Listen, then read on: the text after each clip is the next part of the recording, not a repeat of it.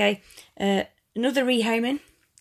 This is uh, Chilobrachys Black Satan. Not entirely sure why it's called a Black Satan. Apparently they are evil. They're new to the hobby, or they are over here anyway. Um, don't really know much about them, apart from their burrowers and extensive webbers. And this little guy is um, super fast. We did have one before, but on the way home from the pet shop it went into molt and unfortunately died a couple of days later after losing a leg. So um, I just like the name Black Satan, so I got another one. Plus I love the Chilobrachys. Right, uh, pass this over. Ooh, um, this guy is super fast. So I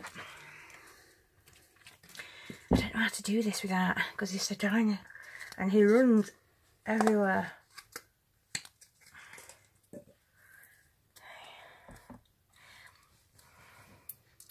It's there, I can just see him. There he is, look.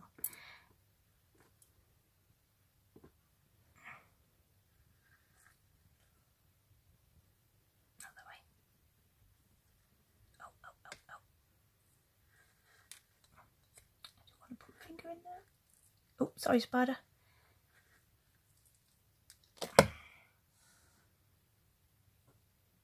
There we go.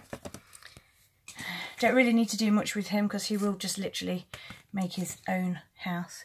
He's very teeny weeny at the minute. There he is. Oh, he's so tiny. Right, there we go. That's another one done. Finito.